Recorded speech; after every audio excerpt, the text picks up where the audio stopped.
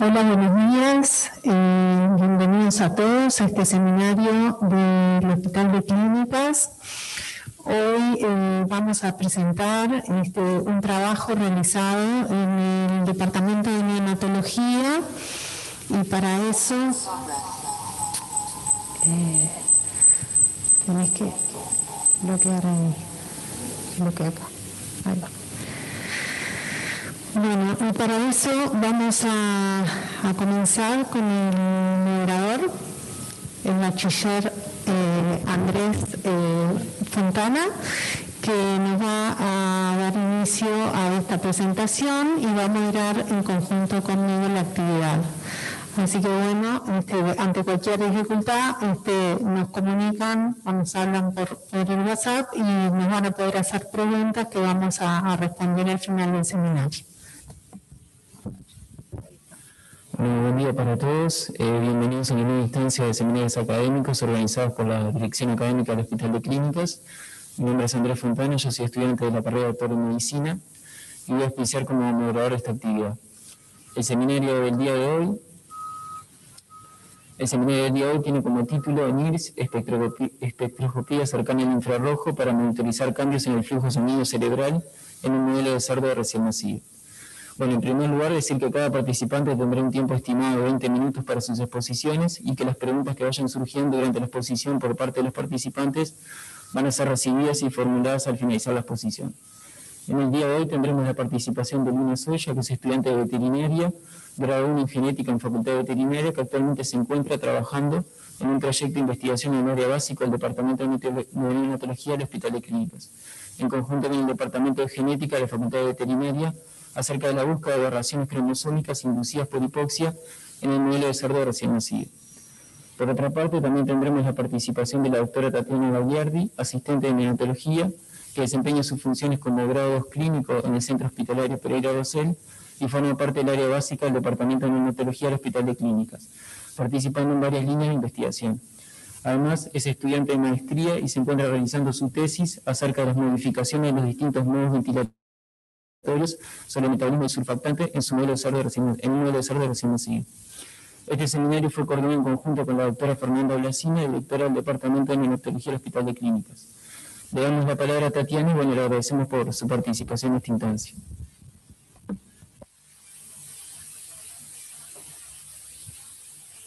Hola, buenos días. En primer lugar, gracias Andrés por la presentación y gracias a la dirección del hospital por tenernos en cuenta para poder presentar nuestro trabajo. Eh, por otro lado, hoy venimos a presentar Luna y quien les habla, pero en verdad formamos parte de un equipo mucho más grande de investigación que funciona actualmente en el piso 15 del hospital. Y bueno, nos pareció muy linda esta oportunidad para poder compartir un poco de lo que estamos trabajando en este momento. Voy a compartir pantalla dicen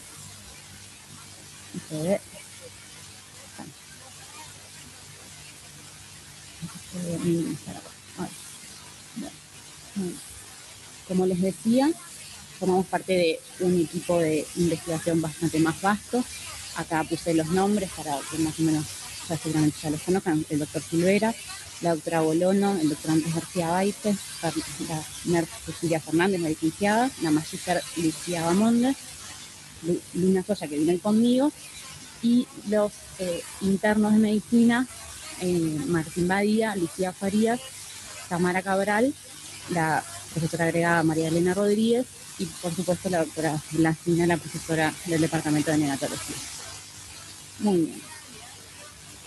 Entonces, para iniciar un poquito, ustedes vieron que nuestro trabajo, la variable que nosotros queríamos eh, analizar es el flujo sanguíneo cerebral cómo cambia este flujo sanguíneo cerebral, en este caso en un modelo de cerdo recién nacido, que por sus características fisiológicas y anatómicas es un modelo muy extrapolable y de hecho es un modelo que se usa muchísimo para la investigación en esta rama de la medicina.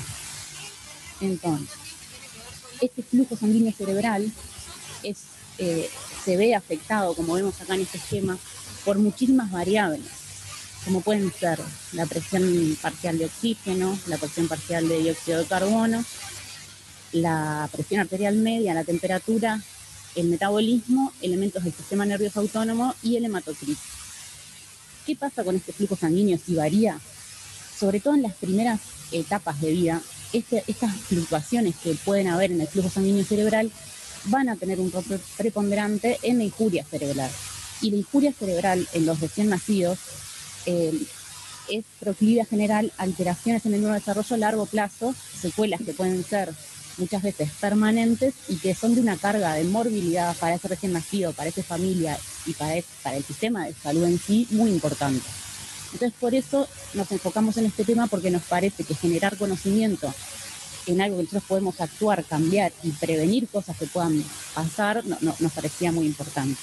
Entonces, para focalizarnos un poco, este flujo sanguíneo cerebral que se ve afectado por todo esto que, que nos pusimos acá y que ya nombramos, si nosotros tuviéramos que elegir una variable que lo afecta a sobremanera sería la presión arterial de oxígeno, eh, perdón, de dióxido de carbono. La PCO2 genera cambios en, el flujo sanguíneo cerebral que eh, aumentan o disminuyen el flujo sanguíneo cerebral por hiper o hipoflujo y generan daños que pueden estar vinculados a la hemorragia intracraniana por el hiperflujo o a la leucomalacia periventricular por situaciones de hipoflujo. ¿Y qué pasa con estos cambios de, la PC2? Que en la asistencia ventilatoria son muy frecuentes y muchas veces difíciles de pesquisar y difíciles de, actuar en el momento. Entonces, por eso nos parecía muy importante eh, actuar y generar conocimiento en este tema.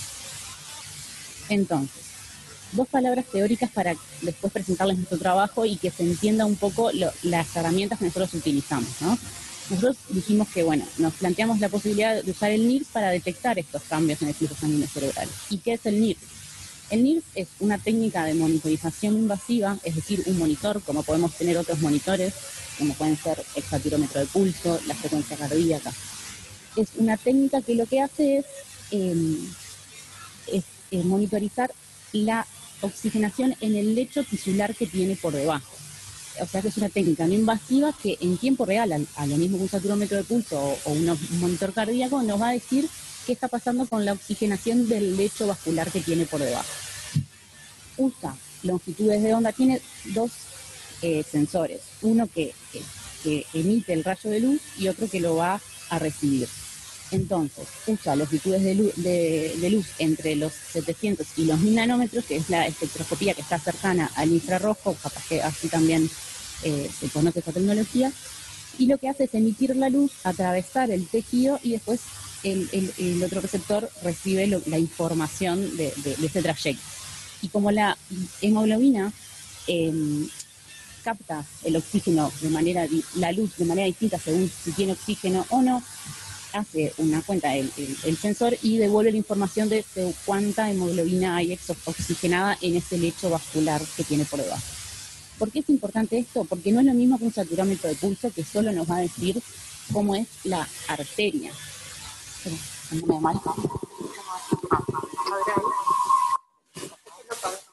Hola, ¿ahora se escucha mejor? Voy a Sí. Bueno, estábamos hablando un poco de cómo funciona el NIRS y resumiendo, es una técnica de monitorización invasiva, como dice la diapositiva, que en tiempo real nos da la información de cuál oxigenado está el tejido que está por debajo de ese sensor. Funciona con dos sensores, uno que emite la luz, otro que la recibe, y eh, con la luz eh, tira una luz de una eh, longitud de onda entre 700 y 1000 nanómetros, que es longitud de onda de luz cercana al infrarrojo, que es captada por distintas maneras según la hemoglobina esté unida al oxígeno o no. Entonces, devuelve la información al sensor y nos da información de cuál oxigenado está todo el lecho vascular. A diferencia del saturómetro de pulso, nos habla de todo el lecho, ya sea capilar, venoso y arterial, no solo arterial. Y esta es la herramienta que nosotros nos propusimos evaluar su eficiencia. Acá tenemos un modelo de un recién nacido con los dos sensores puestos en cada hemisferio cerebral y en este tenemos una foto como cómo se ve el monitor. Como estuvimos charlando que mide la diferencia entre la oxihemoglobina y la desoxihemoglobina, otorgándonos el valor de la saturación regional de oxígeno. Nosotros acá en el hospital contamos con esta tecnología desde el 2013 y es utilizada ampliamente tanto en la clínica como en la, em, en, la clínica para la asistencia de los recién nacidos y en el piso 15 en el área básica de investigación. Eh, muy bien, en esta foto de acá arriba vemos un recién nacido que tiene un sensor colocado en, en la región encefálica y como vemos acá otro en la región mesentérica, en la región renal más que nada. Em, porque lo que está bueno de este sensor, de esta tecnología, es que no solamente sirve como nosotros ahora lo vamos a usar eh, a nivel encefálico, sino que uno puede utilizarlo en cualquier región corporal que a uno le interese saber cómo está la oxigenación de ese lugar. Lo que está bueno también es que nos permite eh, valorar la situación actual, valorar la tendencia generar estrategias terapéuticas, porque uno, si esto cambia, puede eh, determinar un protocolo de si cambia para un lado o para el otro, qué tener que hacer con el paciente, y también valorar las respuestas. Ah, bueno, mira, me cayó el NIRS, ah, sí, porque también le cayó la presión arterial, bueno, no sé, le hago una carga de volumen y me fijo cómo, cómo tiene el NIRS. Es a tiempo real que nos da la valoración del paciente y la valoración de la respuesta a la terapéutica que nosotros hayamos hecho y eso es una cosa muy buena. Funciona con cuatro canales, se pueden poner hasta cuatro sensores simultáneos y acá en este vemos la raya más gruesita vendría a ser la tendencia y el otro los valores que van fluctuando. No solo importa el valor en sí, sino la tendencia. Eso es algo también importante que hay que tener en cuenta. Y acá tenemos una fotito de un modelo de un cerdo recién nacido con sus sensores de NIRS encefálicos colocados. Entonces, conociendo un poco la herramienta y lo que íbamos a evaluar, nosotros nos hicimos dos preguntas. Vieron que dijimos que eh, el flujo sanguíneo cerebral está eh, modificado o puede estar alterado por todos estos, de todos estos factores. Entre todos estos nos interesaba la presión parcial de dióxido de carbono. Pero la otra duda que se nos generó es acerca de la presión arterial. Nosotros sabemos que en adultos ya está descrito que dentro de cierto rango de que nosotros tenemos la presión arterial estable, dentro, perdón, dentro de cierto rango de que la presión pueda cambiar, el flujo sanguíneo cerebral se mantiene estable igual porque existen mecanismos de autorregulación. Y una de las preguntas que nosotros nos hicimos fue entonces si existía esta autorregulación en cerdos recién nacidos y puede ser observada con nuestras herramientas eh, que estamos valorando ahora, que, y después les vamos a mostrar cómo nosotros seteamos el modelo y cómo es que lo valoramos. Y la otra pregunta era si el NIR cerebral puede utilizarse para monitorizar estos cambios de flujo sanguíneo cerebral hasta las, ante las modificaciones de dióxido de carbono. Esto es lo que nos preguntamos y es lo que intentamos contestar con estos trabajos y bueno, se los vamos a presentar ahora. Le doy la palabra. Eh, para la primera pregunta, no sé si Andrés quiere presentar alguna. Ah, ya está Bueno, ahora continuando con el seminario, le damos la palabra a Luna y bueno, le agradecemos por su participación. Muchas gracias, Andrés. Eh, bueno, para proseguir eh, con la respuesta de la primera pregunta, primero que nada, definir lo que es la autorregulación cerebral que, como dijo Tatiana, es la capacidad que tiene eh, el cerebro de mantener una perfusión estable dentro de determinados rangos de una presión arterial sistémica. Ahora, para definir el flujo sanguíneo cerebral, podemos hacerlo a partir de esta ecuación. Es decir, el flujo sanguíneo cerebral es igual a la presión de perfusión cerebral sobre la resistencia cerebrovascular. Como ven acá, también se puede definir la presión de perfusión cerebral como la presión arterial media menos la presión intracraneana. ¿Qué quiere decir esto? Que el flujo sanguíneo cerebral va a depender de la perfusión cerebral y la presión intracraniana. Y esta presión de perfusión cerebral va a depender de la presión arterial media. En un paciente sano consideramos que la presión intracraniana va a ser constante. Por ende, podemos decir que la presión de perfusión cerebral depende exclusivamente de la presión arterial media en el caso de la ecuación.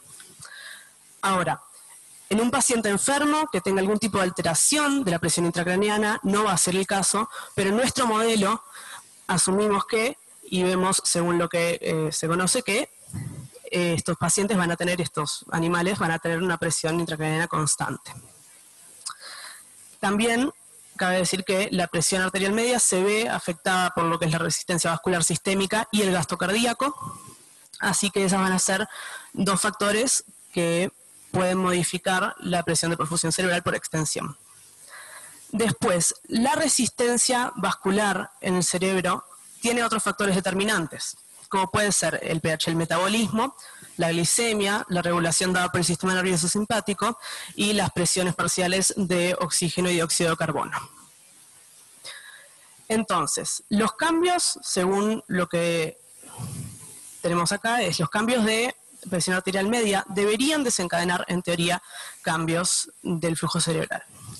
Pero, dada la existencia de los mecanismos de autorregulación, los cambios dentro de cierto rango, que para los adultos va a ser 60 150 milímetros de mercurio, eh, que no va a ser lo mismo para los recién nacidos, van a mantenerse, el flujo sanguíneo cerebral va a mantenerse regulado. Acá tenemos lo que es para los niños, para los recién nacidos, un estudio eh, publicado en Pediatric Research, que, en el cual se ve que los niños que fueron controles, niños término, van a tener frente a un cambio de lo que es esta línea punteada acá, que es la presión eh, sanguínea del niño, va a haber un aumento del flujo cerebral, que en este caso está medido este, por velocidad, es decir, por Doppler, va a haber un aumento que luego va a descender y volverse estable de nuevo, ya que eso muestra que la autorregulación cerebral funciona como debería, es decir, genuinamente frente a un cambio de PAM logra regularse.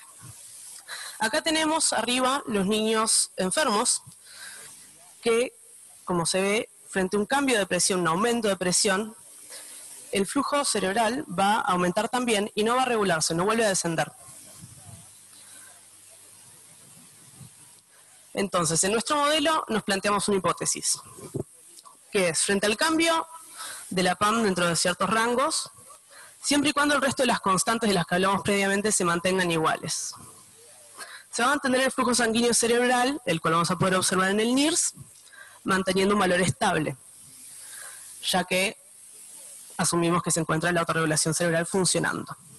Nuestro objetivo dentro de este estudio fue evaluar la autorregulación frente a los cambios de presión arterial y que eso se evidencia por el NIRS y también por el retorno venoso del polo cefálico en nuestros cerdos recién nacidos.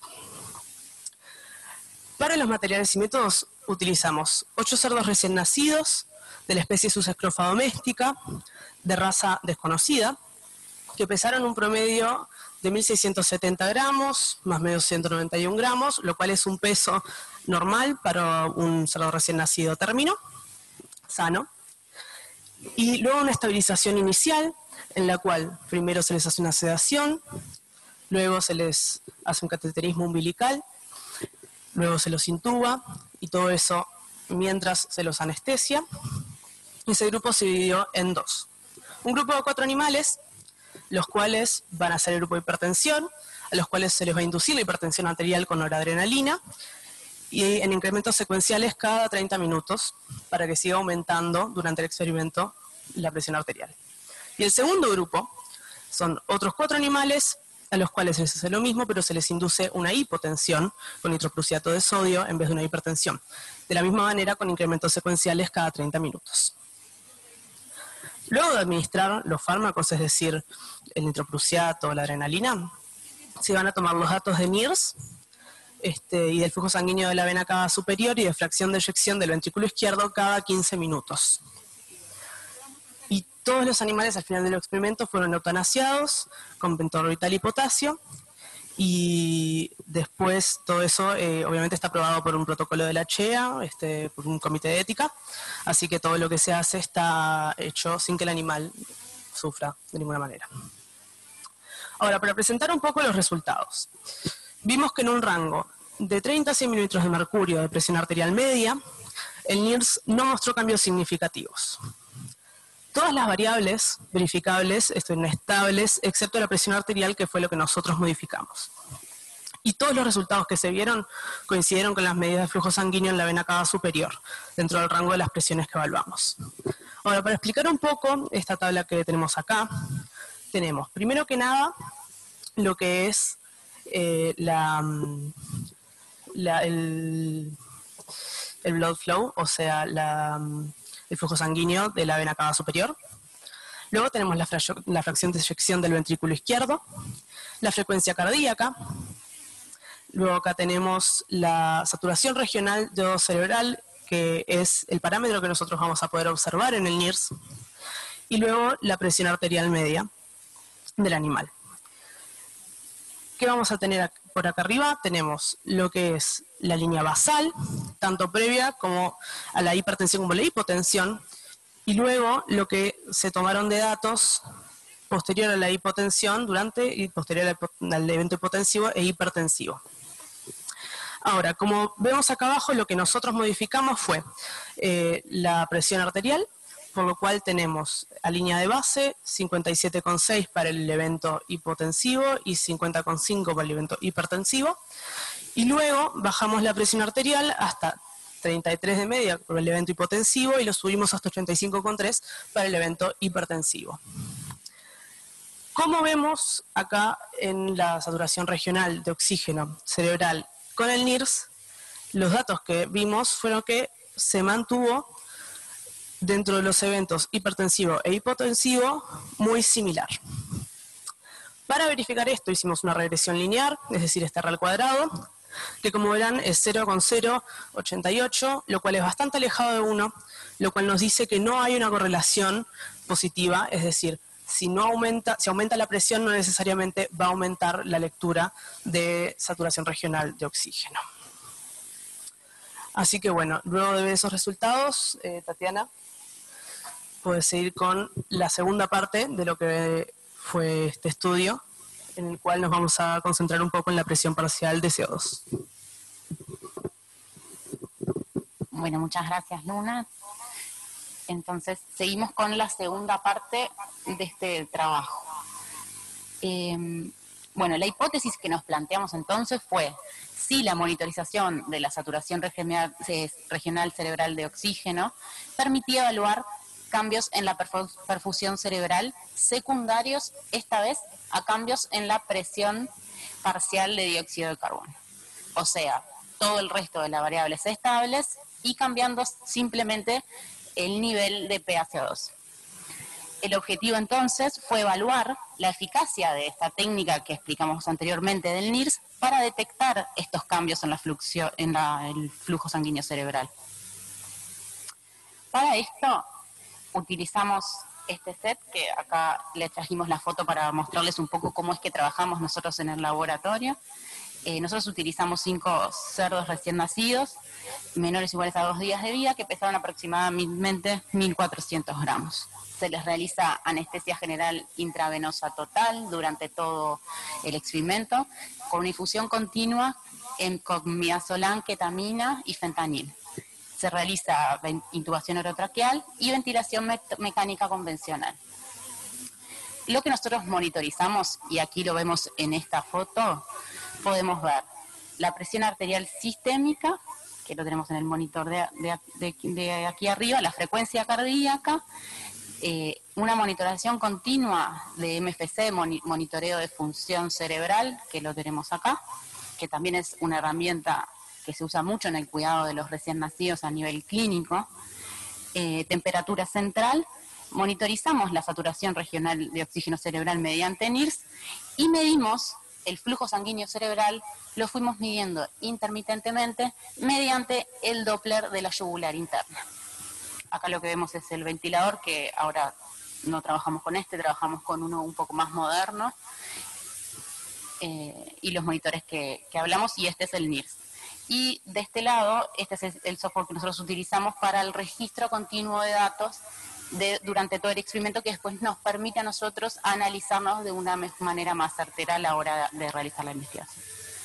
Entonces, nosotros lo que hicimos, dijimos, bueno, agarramos al cerdito, lo ventilamos, le pusimos los catéteres, lo monitorizamos y ¿cómo lo ventilamos? Lo ventilamos con ventilación convencional, inicialmente con una delta P de 12 y una frecuencia de 20, y generamos dos situaciones, con registros antes y después de la intervención. Generamos hipocapnia, es decir, la hicimos bajar la presión parcial de dióxido de carbono mediante eh, una intervención que generara hiperventilación. ¿Cómo lo hicimos?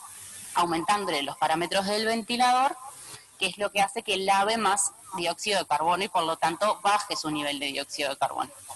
Cada intervención que hicimos la hicimos de 15 minutos. Y las situaciones de hipercapnia la hicimos mediante hipoventilación cuando nosotros iniciamos, antes de, tener el, protocolo definitivo, lo hacíamos solo con bajándole los parámetros del, ventilador. Dijimos, bueno, si le aumentamos los parámetros, lo hiperventilamos, seguramente lo bajemos y nos va a dar. Y nos dimos cuenta que no, y tuvimos que agregarle esto que dice acá, que es dióxido de carbono directo en la tubuladura del ventilador para lograr un nivel adecuado, una hipercapnia marcada de, eh, en los registros. Luego de cada intervención de estas que duró 15 minutos, volvimos a medir de nuevo el flujo sanguíneo cerebral. Analizamos los gases sanguíneos y registramos todas las variables. Y hicimos estos episodios, tanto de hiper como de hipocamnia, en dos oportunidades en cada animal. Lo que sí nos teníamos que, los que nos aseguramos entre una intervención y la otra es haber vuelto a la condición basal. Entonces, ¿qué fue lo que nosotros obtuvimos? En primer lugar, lo que dijimos, bueno, nuestras intervenciones fueron eficientes para generar las situaciones tanto de hipercamnia como de hipocamnia, porque quizá, como nos pasó en principio, no llegábamos al estado deseado. Y nos dimos cuenta que sí, que logramos con nuestras intervenciones generar cambios en la presión arterial de dióxido de carbono de forma significativa, con un descenso durante la hiperventilación y un aumento durante la hiperventilación. Aparte, analizando las mediciones del flujo sanguíneo mediante el Doppler, que habíamos dicho que lo medíamos así, observamos que durante la hiperventilación, o sea, las situaciones en las cuales nosotros teníamos hipocapnia, descenso de la PCO2, se vieron un descenso significativo de flujo sanguíneo cerebral mediante la medición por Doppler. Y al revés, en las situaciones de hipoventilación en las cuales nosotros encontramos un aumento de la presión parcial de dióxido de carbono, se acompañaron de un aumento en el flujo sanguíneo cerebral por una dilatación de los vasos. Lo otro que nosotros quisimos analizar fue si el resto de las variables habían se habían mantenido estables. O sea, si nosotros podíamos atribuir este cambio a los cambios en la PC2. Y vimos que sí, que no se observaron descensos significativos ni en la glucosa, ni en la hemoglobina, hematocrito, la presión, ni en la temperatura, antes y después de cada intervención. Sí, lo que observamos fue una, una, una alteración significativa del pH que era esperable por la acidosis o la, o la alcalosis generada por la hiper o hipocapnia respectivamente. Lo otro que hicimos fue valorar ahora sí nuestra herramienta y ver cómo ante estos cambios en el flujo sanguíneo cerebral eh, reaccionaban la saturación regional cerebral de oxígeno. Y vimos que efectivamente en las situaciones de hiperventilación, o sea, hipocapnia, se observó un descenso significativo de la saturación regional de oxígeno. Y en las situaciones de hiperventilación, es decir, en las situaciones de eh, perdón, en las situaciones de hipoventilación, es decir, en las situaciones de hipercapnia, eh, obtuvimos una... es un trabajo esto. Observamos un descenso significativo de la región de la saturación regional de oxígeno durante la hiperventilación. ¿Por qué? Porque pensamos que va a bajar el flujo sanguíneo cerebral secundario a la hipocamia. Y observamos un aumento de significativo de la saturación, un descenso, perdón, de la, de, de la saturación regional de oxígeno cerebral durante la hiperventilación, secundario a, ahora sí, a la a las situaciones de hipocampo. Por otro lado, lo que hicimos fue calcular el FTOE, que es la fracción total de extracción. Y lo que vimos fue que hubo un aumento significativo durante la hiperventilación y una reducción del mismo significativo durante la hipoventilación. Después lo que hicimos fue la relación lineal entre el flujo sanguíneo cerebral y la eh, presión arterial parcial de CO2 y observamos que ante las situaciones de hiper e hipocamnia existen variaciones significativas en el flujo sanguíneo cerebral y en el NIRS. Y confirmamos mediante la regresión lineal entonces que existe una correlación directa entre la PCO2, el flujo sanguíneo cerebral y el NIRS. Les pido disculpas por el entrevero que tuve al final en la presentación de los resultados, pero me, entreveré con, con el trabalenguas y si quieren lo volvemos a, conversar si a alguno le quedó alguna duda, no sé si quieren decirlo en el, en el, en el chat. Entonces, como conclusión, ¿qué pudimos concluir nosotros?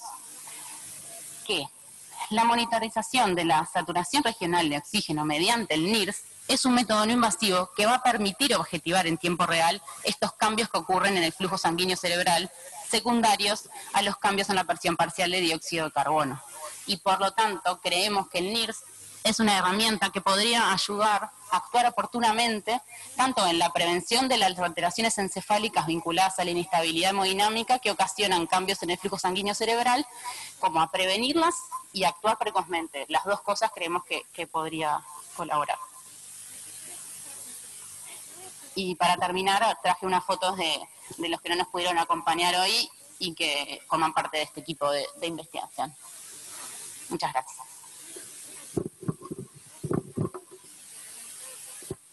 Bueno, agradecemos a ambas expositoras por sus presentaciones y vamos a abrir ahora un espacio para los comentarios o preguntas que hayan surgido.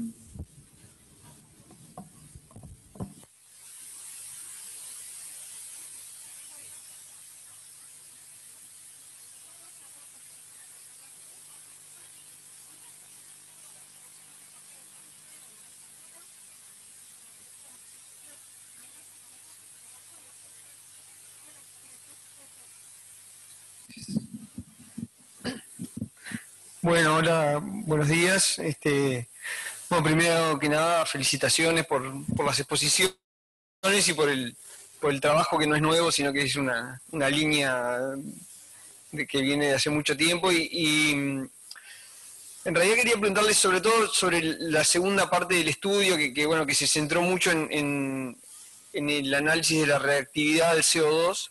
Eh, si han eh, pensado o han empezado a, estudiar también la utilidad del NIRS en otro tipo de, los muchos determinantes que, como mostraba Tatiana, tiene el, flujo sanguíneo cerebral y, y la perfusión, ¿no? Eh, porque, por ejemplo, una de las cosas que, uno piensa cuando, cuando eh, ustedes controlaron un montón de, variables que se podían haber afectado, como por ejemplo el... Este, la, oxemia con, la situación de, hipoventilación o, hiperventilación.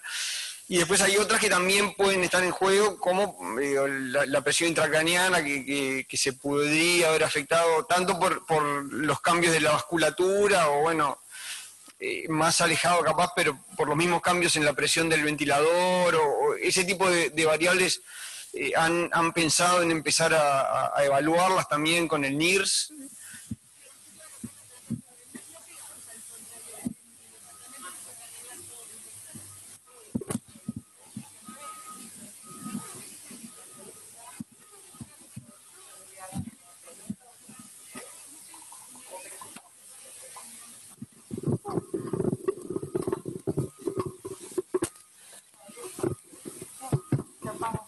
Hola, ¿sí? Este, sí, como decías, Martín, gracias por, el comentario. Es un, trabajo que viene, como decía Tatiana, desde que tenemos el equipo en el 2013, que en realidad este fue un equipo que se incorporó en el hospital, que a la vez se incorporó en dos lugares, en CTI un poquito unos meses después y en nuestro departamento. O sea que, bueno, la curva de aprendizaje, como vos decís, de cada uno de los determinantes, lleva mucho tiempo.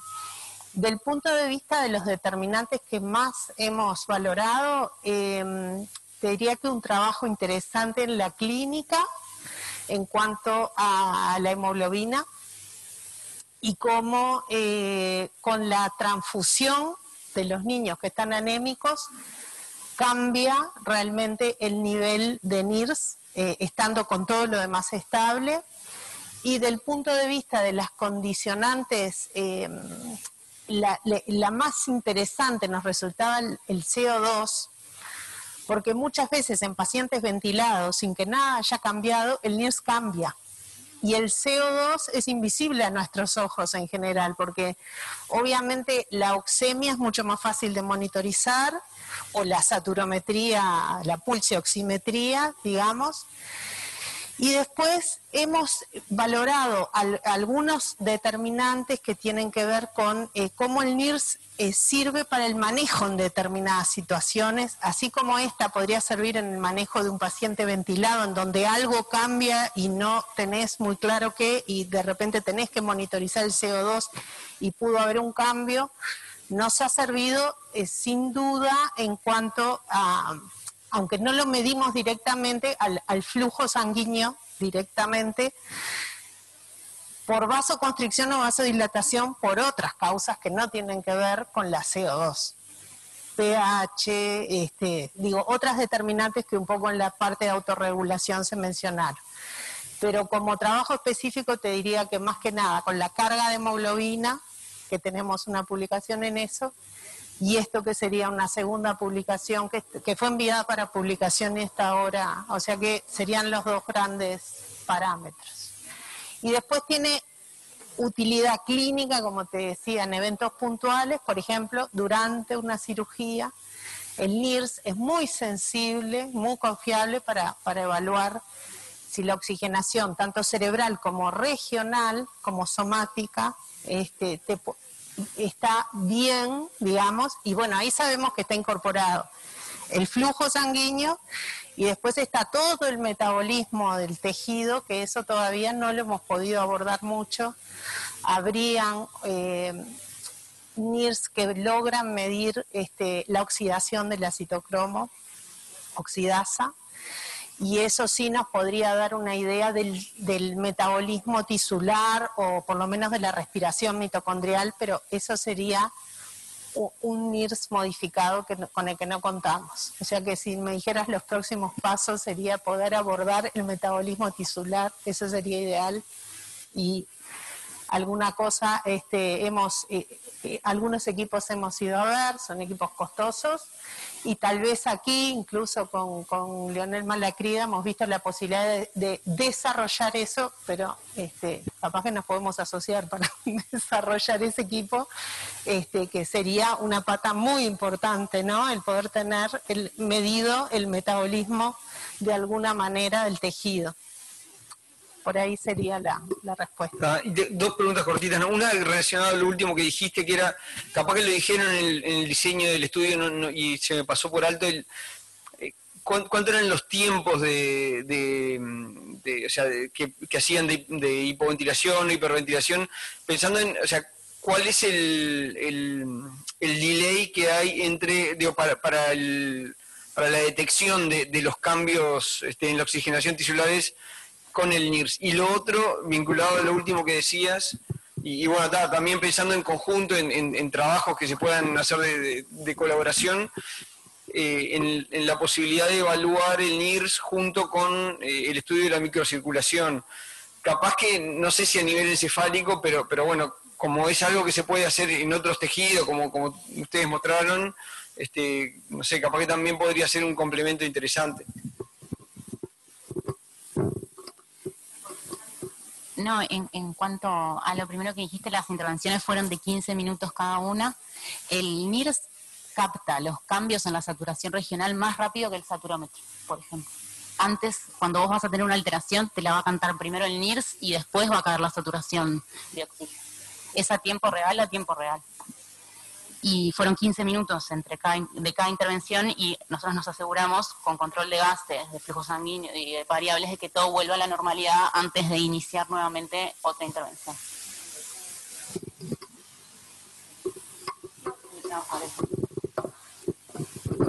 Eh, y el hecho de complementar con los estudios de microcirculación, por ejemplo, en, piel, que es algo bien este, que se puede hacer, este, o en algún tejido este, más accesible, digamos, sería bárbaro.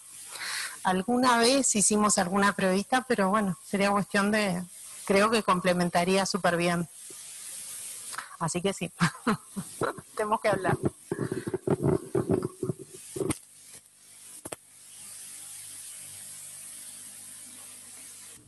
Bien, yendo a las preguntas del chat, eh, Sofía pregunta si se basaron en estudios de otros países.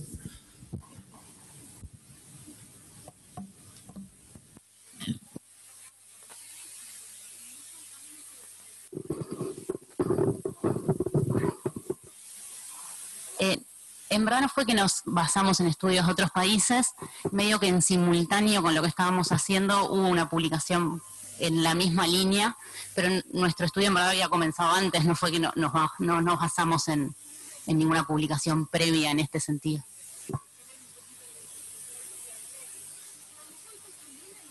Bien, eh, felicito por la presentación y, pregunta cómo se explicarían los cambios en la fracción de extracción tisular de oxígeno por con los cambios en la, en la presión de dióxido de carbono.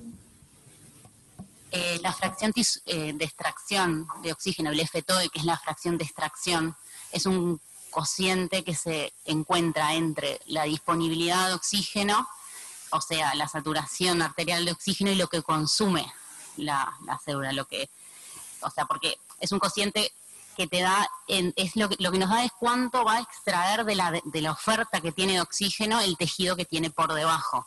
Entonces, si nosotros tenemos un aumento o una o, un cambio en el flujo sanguíneo cerebral en cuánto va a salir, va a estar, eh, va a determinar directamente qué oferta tuvo eh, ese, eh, ese tejido. Y si eso baja, la fracción de extracción de lo que tiene va a aumentar. No sé si me si queda claro la respuesta.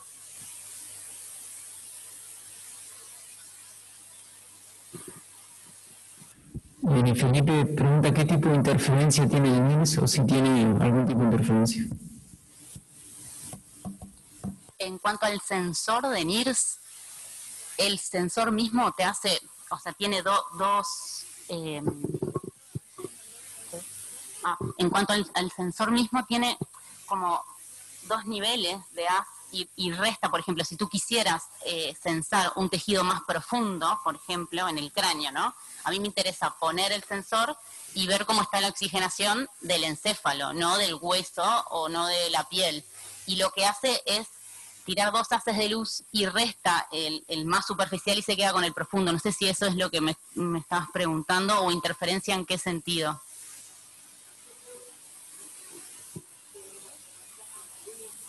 Ah, en cuanto al sensor, cuando uno coloca el sensor tiene que tener cuidado de que no quede con una luz directa. Eso sí, tiene que estar protegido de la luz para que el valor que vos obtengas sea certero. Si no, perdés la señal y no, no, no te capta nada.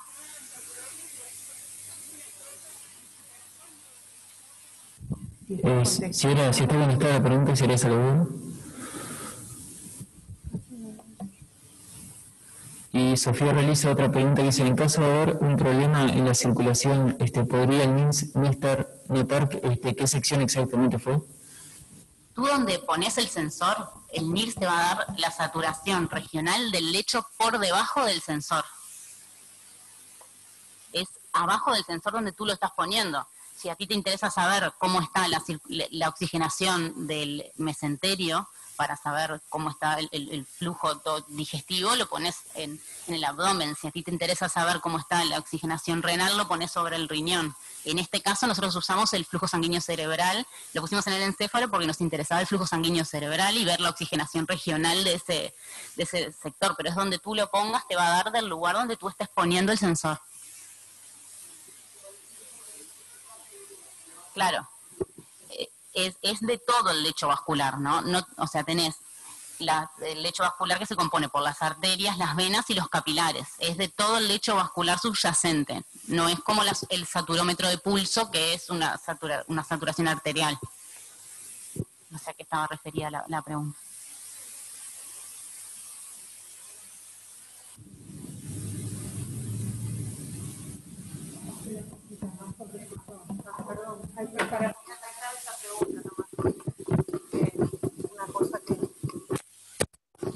Hola.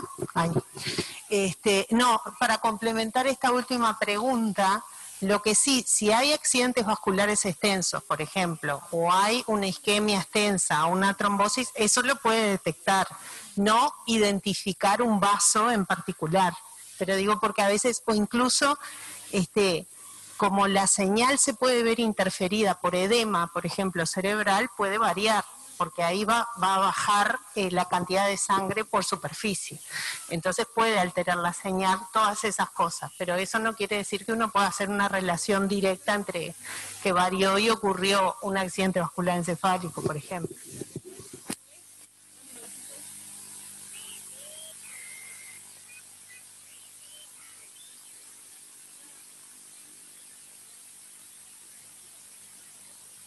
Bueno, antes que nada, felicitar eh, las exposiciones, que es muy buena. Y tenía una pregunta nada más, este, ¿se podía aplicar ese sistema, por ejemplo, para medir en piel, en, miembros inferiores, por ejemplo, este, eh, circulación? Yo sé, yo que trabajamos con úlceras venosas o úlceras, este, podría servir para, para medir este... Sí, sí, podría servir perfectamente. Cualquier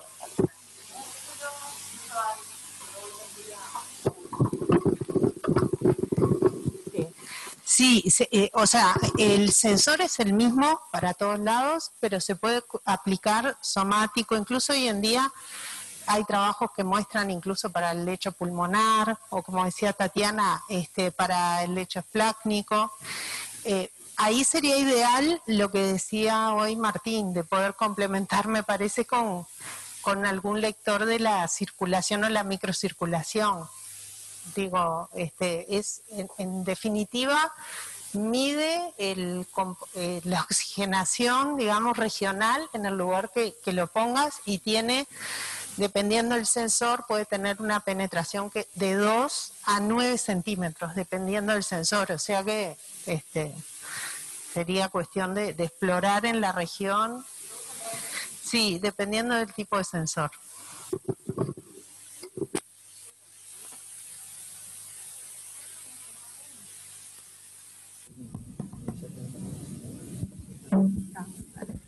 Eh, yo quería preguntar si, existen otros métodos de referencia ¿no? que permitan medir cambios en el flujo sanguíneo cerebral producto de las variaciones en la presión de dióxido de carbono y en caso que existan si muestran ventaja en MILS con respecto a estos.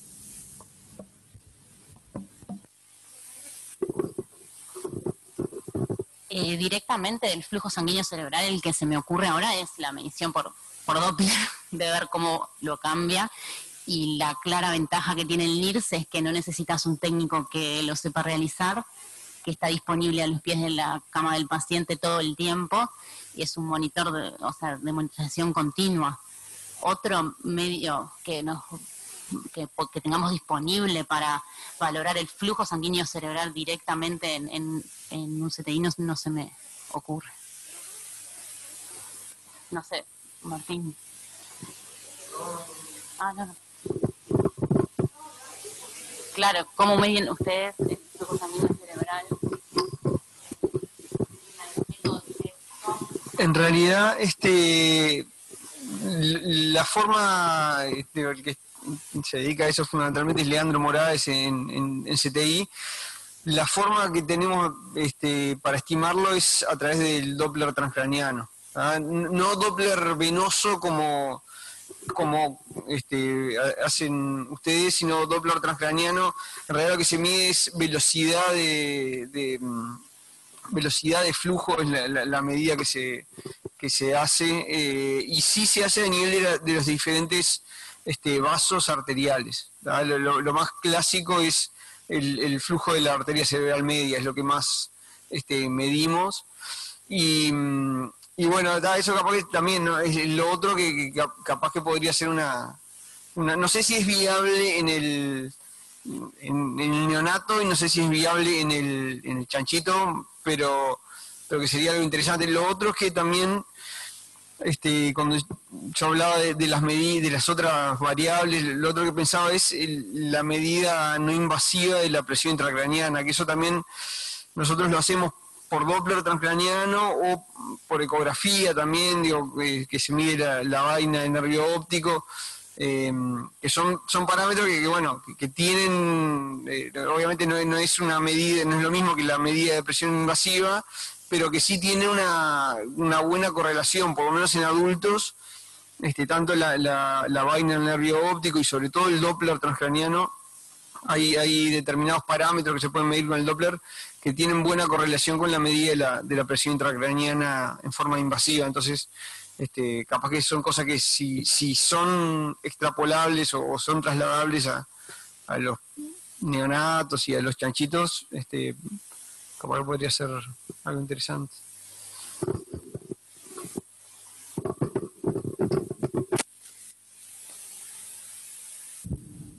Eh, después quería preguntar si este método de monitorización tiene la misma aplicabilidad e, interpretación en pacientes que tienen patología encefálica.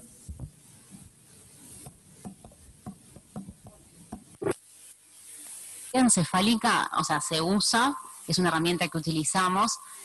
Eh, en el caso de que no haya metabolismo cerebral, ahí cambia un poco la cosa, porque si vos, vos podés tener un NIRS alto con una, con una buena saturación regional de oxígeno, pero porque en verdad estás ante, por ejemplo, no sé, una muerte encefálica que la célula no te está consumiendo oxígeno, entonces el NIRS no te cambia. Entonces, vos necesitas, o sea, e, esa sería como la, me parece como la salvedad que habría que tener en cuenta. Nosotros lo usamos en patología encefálica, lo usamos para monitorizar a nuestros niños asfícticos, pero creo que hay que tener en cuenta que es que, que si la célula no te está consumiendo oxígeno, podés tener mil saltos con una patología encefálica grave de base, en verdad, pero sí, se, usa.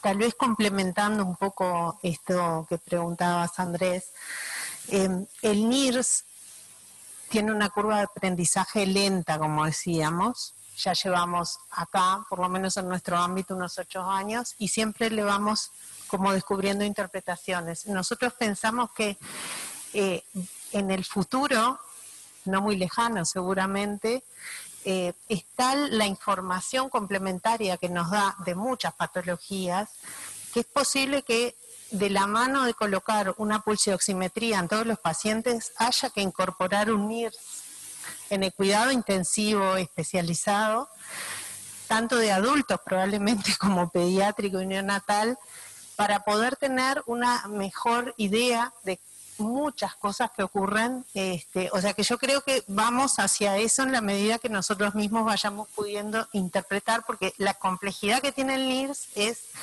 que su valor, el valor que te da, está determinado por muchos parámetros. Entonces ahí es, de difícil de interpretación algunas veces, pero en la medida que, por ejemplo, nosotros en pacientes neonatos afícticos es algo que lo usamos regularmente para ver cómo está, e incluso podemos ver las diferentes fases por las que pasa el cerebro este, a medida que transcurren los días y vemos que hay fases en las que extrae menos oxígeno, fases en las que mejora y empieza a tener mayor funcionalidad, o sea que incluso en pacientes con encefalopatías es de utilidad para, para mostrarnos cómo está comportándose ese tejido.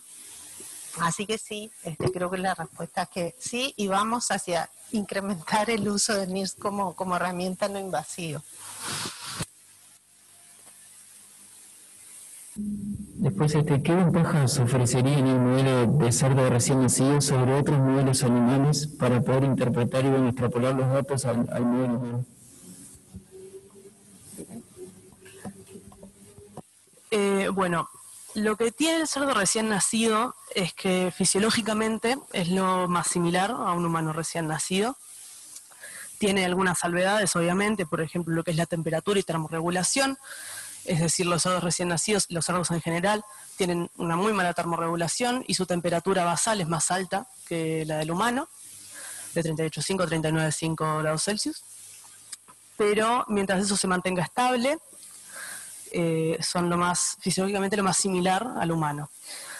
Se podrían usar otros modelos, se usan este, modelos de estudio, por ejemplo, en ovejas o conejos, tienen la salvedad de que su metabolismo es bastante diferente eh, al del humano y por ende eso obviamente tiene ciertos cambios fisiológicos que, bueno, que no son tan aplicables y tan extrapolables al humano.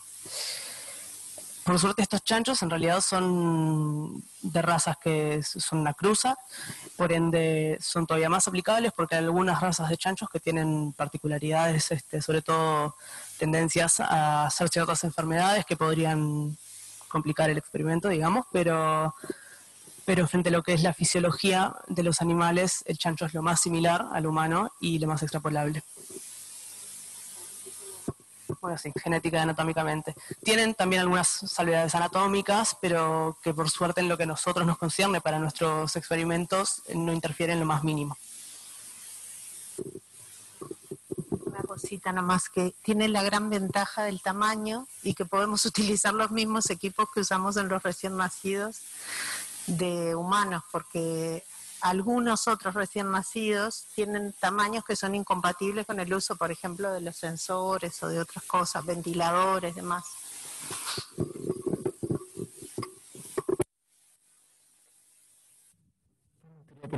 ¿qué reflexión les deja el trabajo realizado y cuál sería la importancia de poder desarrollar métodos alternativos que sean menos invasivos para poder monitorizar distintos parámetros que nos permitan mejorar la evaluación y también el pronóstico de los pacientes?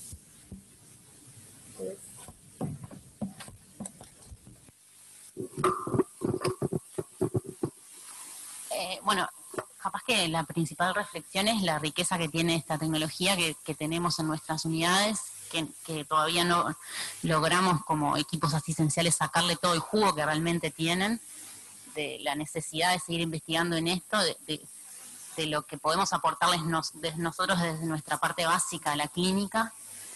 Creo que eso es fundamental y en este caso particular de buscar medidas no invasivas, ustedes imagínense cuán preciada puede ser sacar una muestra sanguínea en un recién nacido prematuro con la bulimia que tienen, lograr técnicas que a nosotros nos permitan no tener que andar haciendo punciones, o por más no, sean punciones que tengan catéteres, pero extracciones sanguíneas reiteradas, que es la base de la anemia iatrogénica que tienen los prematuros, casi todos por, por, lo que pasa en los prematuros extremos, imagínense si nosotros logramos eh, buscar técnicas como estas que nos permitan valoraciones sin necesidad de extraer sangre para saber cómo está la PC2, eh, me parece algo que muy bueno, que nos permite eh, actuar rápidamente ante cambios que nosotros veamos, prevenir patologías que pueden ser realmente graves o tratarlas precozmente, y bueno, y lo que dijimos, lo que dije recién de las extracciones sanguíneas y que es algo que simplemente teniendo la tecnología lo que falta es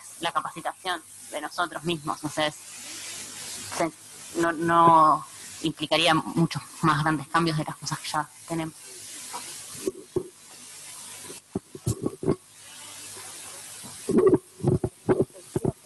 No sé si, no sé si alguien quiere hacer alguna otra pregunta o comentario en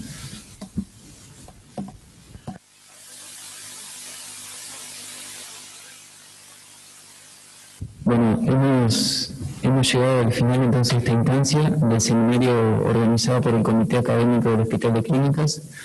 Me queda resaltar la importancia ¿no? que tiene el poder seguir implementando en nuestro país el desarrollo de la ciencia y la investigación basada en la evidencia para poder implementar herramientas e intervenciones que nos van a poder ayudar a, a mejorar el pronóstico de los pacientes y el mejor desarrollo de la práctica clínica diaria.